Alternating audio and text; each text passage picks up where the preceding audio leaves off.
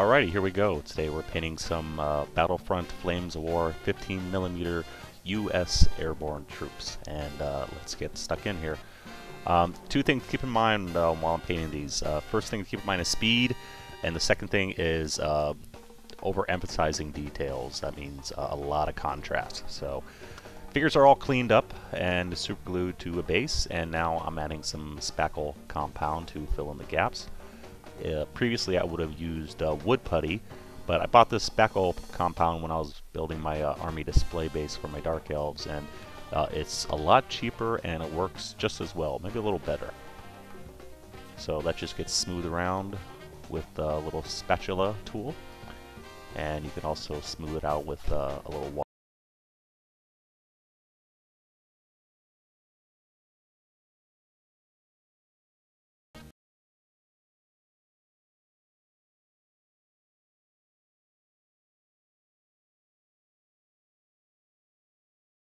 the spackle dries, um, then the whole thing gets coated with some uh, slightly thinned white glue, and I start adding some uh, rocks. Bought a bunch of new basing material for this project. Uh, this is some Gale Force 9, uh, I think it's Rocky Grit, is what it's called, so that's being strategically placed wherever I want. And starting off with the big rocks first, and then moving to some slightly smaller ones. Got some, uh, again, Gale Force 9. I think this is medium, uh, medium grit. And just sprinkling that on. Sorry for the knuckle shot there. And trying to keep the rocks in, you know, clumps. Not spread out evenly all, all over the base, but uh, have them more so they're clumped up, because that's how rocks tend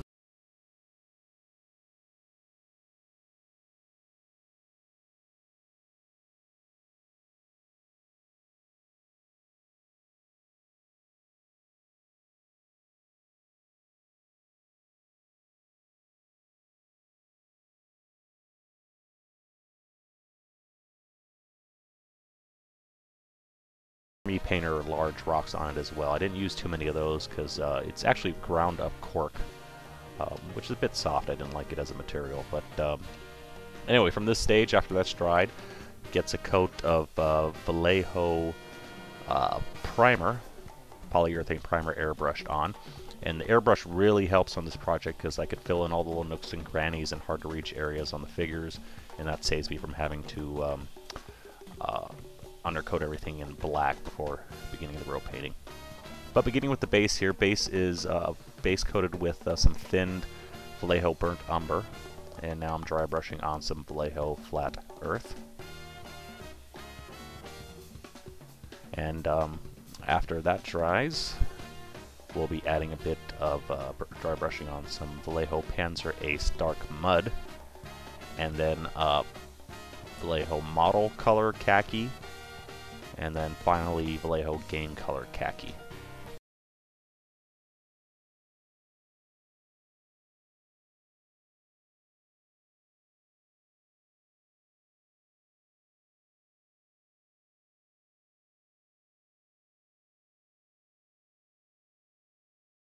With base all done, it's time to start painting the uniforms, starting with the, the largest uh, color area first, which is, of course, the uniforms. Um, dry brushing on some of Vallejo uh, Panzer Ace Dark Mud, the same that went on the base. And this is going on fairly thick. I'm not trying to cover up all the black, but um, definitely want to get good coverage here. And uh, this, the dry brushing this portion also helps pick out all the small details on the figure, which uh, can be kind of hard to see in this scale, all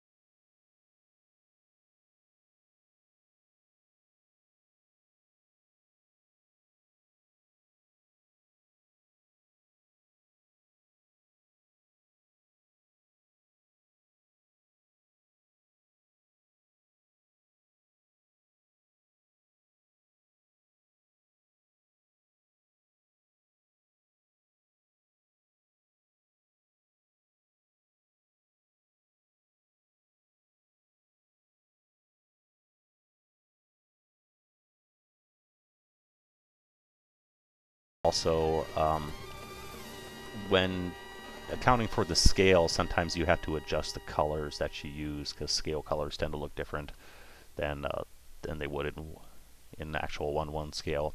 Also, uh, I'm putting a lot of emphasis on um, contrast on these models, so all those small details really pop out.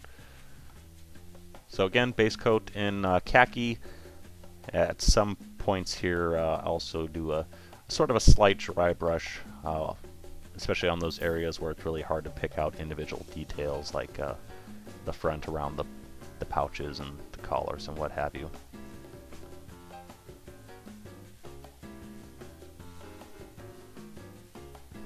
Now for the highlights, I mixed in a large portion of um, uh, Vallejo beige to the khaki. And uh, this paint is not uh, thinned as I would normally. I'm not layering here. I'm mainly using very thick colors and just sort of uh, spotting them into place. This is definitely not blending here.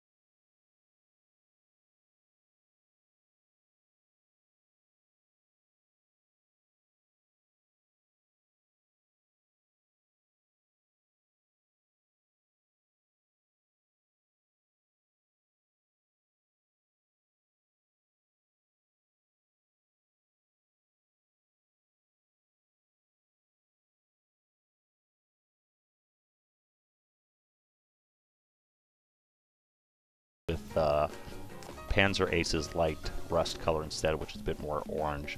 It's not historically accurate, but it makes uh, that detail pop out a bit more so it doesn't just blend in with the color of the boots. And then this is going to get highlighted with uh, just a little bit of uh, straight out the bottle saddle brown. Now onto the guns. Uh, the guns are being painted with uh, Vallejo Flat Earth. Sorry, uh, camera gets a little blurry here for a minute or minute or two. Um, and this color is then highlighted with uh, Vallejo Game color Cobra Leather.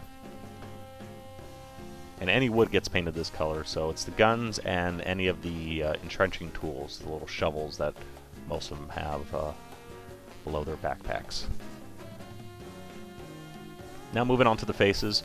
Uh, same flesh colors I've used in the past. This is uh, Panzer Ace's uh, medium or base flesh tone, whatever it's called and it's just going on the faces, not the hands, because they uh, they do have gloves they're wearing. So we'll go over how to paint that in a second.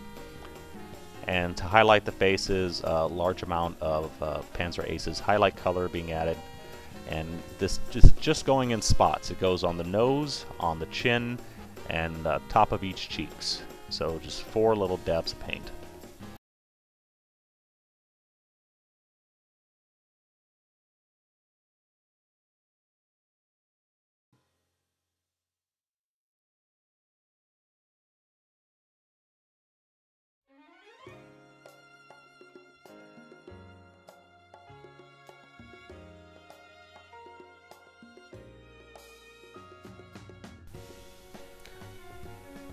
Alright, picked up a different stand here just to show you how I'm painting some of the uh, different painted weaponry. Um, the mortar here is being painted with uh, Vallejo Brown Violet, which is fairly standard uh, color for painting uh, olive drab. U.S. Uh, Army, a lot of the weaponry and vehicles, of course, were painted in the same color. So uh, the mortar here gets this color, as well as any bazooka teams, even even shells will get painted this the same color. And also the helmets when we go to paint them eventually. Now, to highlight this, I would normally use green-gray, however, um, I'm concentrating on speed here and also saving paint, so I've actually added some of my flesh highlight color to the brown violet and used that on the highlight as a highlight. Um, it's a bit extreme, but it works perfectly well, and this is all going to get toned down a bit when I add the final wash at the end. Um, so, again, it uh, speeds up the process and saves you from having to get out another color and waste a drop of paint or two. And I will do this uh, same speed technique a few other times uh, later in the video.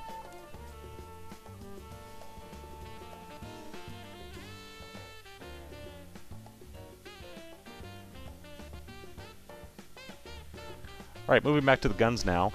Uh, painting the metal areas. Um, if you watch my Sherman video, you know that I don't like using metallic paints anymore on 15 millimeter figures. I just don't think in this small scale um, they should have that metallic sheen. So I have a mix of Game Color Cold Gray and Model Color Panzer Gray that I've mixed up out equal portions and using that to paint uh, the metal areas on, uh, on the guns. And this will get highlighted just with a small extra drop of uh, cold gray added to the mix. Now again, emphasizing saving paint and time.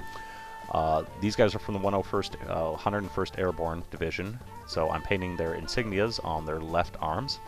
And I should use black for this, however, uh, I have German gray on the palette, um, so I can still use it for that. And again, in this scale, it's not a big deal using a slightly off color. So it saves time, it saves paint, and lets me crank these little guys out as uh, fast as possible. So just a just a spot on the arm. Try to get it in a uh, you know rough rough blob shape. on the right arm, I'm using um, flat red here to paint the American flag. So just trying to paint a, uh, a rough uh, rectangle on the arm. Uh, I'm not going overboard here trying to paint um, all the stars and stripes because that's at, the, at this scale you're not going to see them really and I'm not going to try to kill myself by doing it. Um, and the same principle goes on the other side of the arm as well. I'm not painting the whole airborne symbol, just an approximation of it. So for the, the blue, uh, mixed up a little bit of stormy blue, game color stormy blue with white, and just adding a, a small uh, drop in the upper left-hand corner, trying to make sure there's uh, there's no red above this color. And that's it. Got my American flag done. And again, saving paint. I got the white on my palette because I just painted the uh, the uh, right side with the flag, so I'm using that white and going back to finish off painting the uh, the airborne symbol. Again, not trying to paint the whole perfect eagle where it says airborne underneath. I'm just putting a little uh, a little spot trying to go from the upper left corner to the lower right to represent the uh, the eagle's head that they have on their patches. Now, often uh, when you go down to this scale, something simple and easy will end up looking a lot better than if you try painting, you know, super detailed at an impossible scale because it's it's going to be very difficult to see if you try going more detailed than this. and it's also going to take a whole lot of time. So there you go. That is my uh, little eagle. That portion is all done. Alright, now onto the gloves. Uh, they wore, I think it's a buckskin gloves, sort of a beige buff color. However, again, emphasizing detail and changing the colors up to make them brighter and more intense. Uh, I am using, um, excuse me, Vallejo Plague Brown here. And just painting it all over.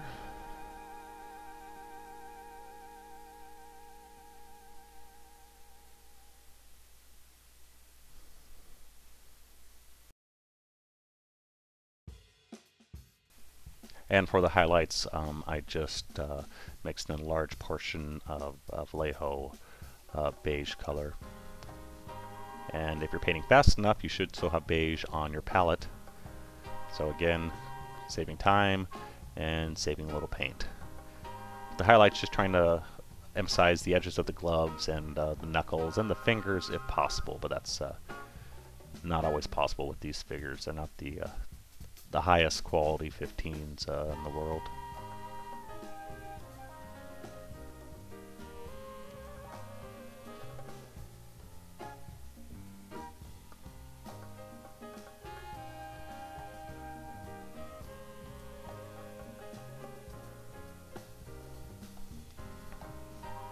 Alright, so painting the webbing on, uh, or excuse me, the rifle slings right now.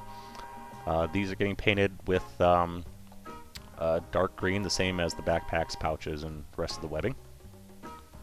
And then to highlight, uh, again, saving uh, time and money, I just added some of the light flesh color, previously used highlight flesh color, and uh, just adding a bit of uh, bit of highlight to the edges of the uh, the rifle slings. Um, you can also paint the rifle slings um, leather I'm not sure which one was used more often, but I know there's some of the slings they used were uh, leather, the same color as the boots here. Alright, on to the helmets now. Helmets being painted um, brown violet. You may still have that on your palette if you're following along. So they just gets an overall coat. Um, be sure to check the underside of the helmets to make sure you don't have any uh, flush on the bottom side. I'll just cover that up with a little brown violet if needed.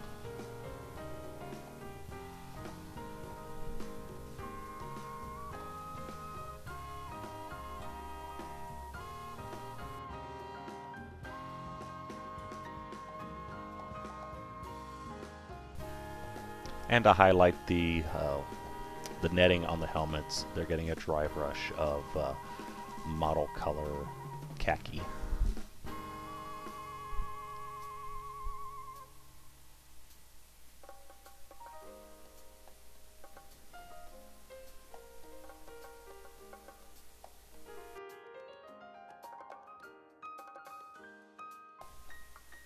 Now for the uh, foliage or whatever it is um, in and around the netting on the helmets, I'm painting on some uh, game color camouflage green. Uh, very bright green color, again, um, not really realistic here. I'm painting it uh, such an intense bright color because I want it to stand out. Um, you know, I could paint it the same green as all the uh, all the webbing and backpacks and what have you, but um, that wouldn't be really interesting.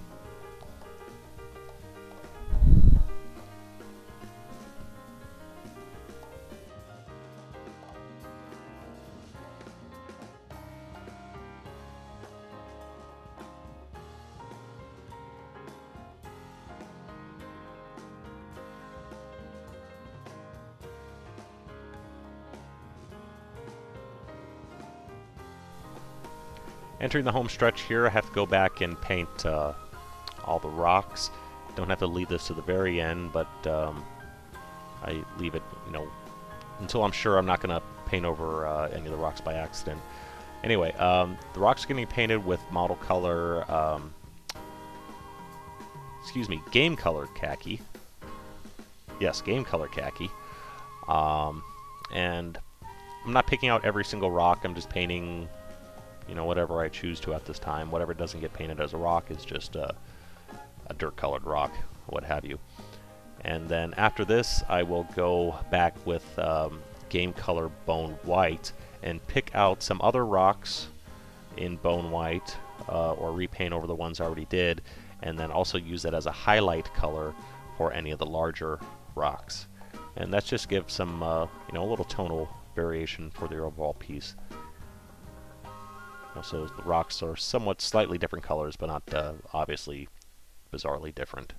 Now, um, going on to the shading stage here. Um, have some Vallejo Umber Shade. This is a uh, simple to use uh, shade in a uh, it's an acrylic binder, so you just slop it on and it will dry perfectly every time. This is fairly similar to Games Workshop's uh, latest inks. So everything is getting painted with this brown shade. And that's going to darken the colors and give me a bit more shadow wherever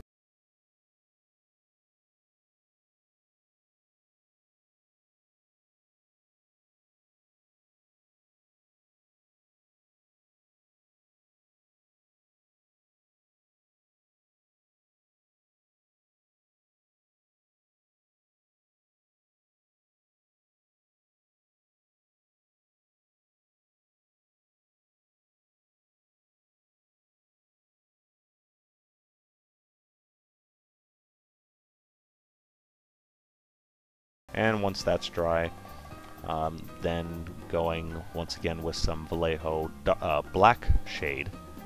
And this is being applied a bit more precisely. Uh, the black shade only goes on uh, the boots, the rifles, and uh, the wood and the metal portions. And also I'm using it to pick out any areas that I think need a bit more uh, emphasis or a bit more shade, mainly around the backpacks, uh, around any of the pouches, or um, uh, what was the third thing? Back pouches. Oh, um, wherever like the arms press against the bodies to help define those areas a bit better. Uh, the black shade also goes on any of the brown violet uh, painted weaponry, such as the bazooka and uh, mortar, but not the helmets. The helmets I like keeping brown. And after uh, some varnish, flat varnish, and a little bit of uh, grass. These are done. I still have to add some more grass to it. Um, I didn't like the colors of static grass I had lying around, so uh, these guys are on standby until they're completely finished. But there you go. Um, 50 millimeter figures, you know, not badly painted. Uh, you should really be looking at these from a lot further distance than I'm uh, letting you look at them. But uh, quick and painted, I could crank one out one stand in about 20 minutes, which is good because I have a lot to paint. So, I uh, hope this helps. Thanks for watching. Take care.